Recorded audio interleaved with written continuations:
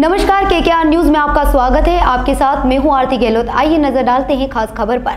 नगर निगम द्वारा लिली टोकी चौराहा नीलम पार्क से दुकानों को हटाया गया।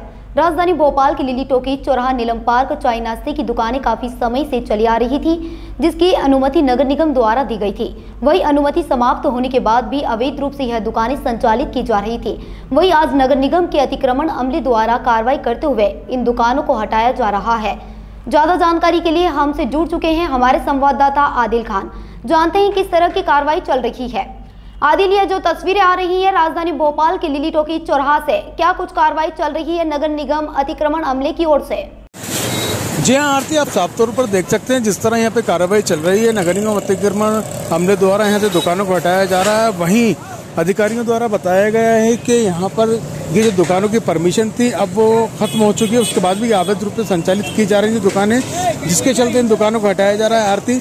और वहीं आपको बताना चाहूँगा, सूत्रों की माने तो अभी यहाँ पे एक कार्यक्रम भी है जहांगीराबाद में जहाँ मुख्यमंत्री शिवराज सिंह चौहान आने वाले हैं तो शायद उसके कारण भी हो सकता है दुकानों को यहाँ पे हटा के साफ़ सफ़ाई की जा रही है। ऐसा सूत्रों के माध्यम से पता चला कि शिवराज सिंह चौहान भी यहाँ पे पहुँचने वाले इसलिए कार्रवाई की जा रही है। वहीं नगर निगम के अधिकारियों का कहना है कि इनकी जो यहाँ पे परमिशन थी वो निरस्त कर दी गई थी।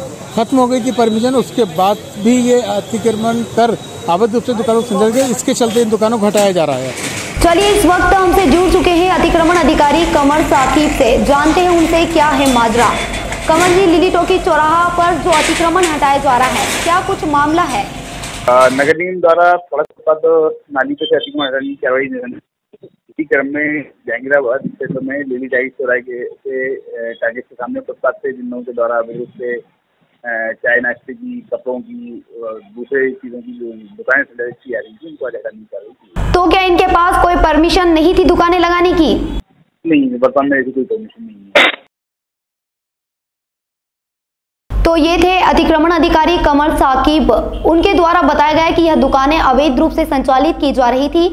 जिसके चलते जो रूटीन कार्रवाई की गई है। इस तरह की जानकारी के लिए आप बने रहे हमारे साथ। के न्यूज़ को लाइक शेयर और सब्सक्राइब करना ना भूले।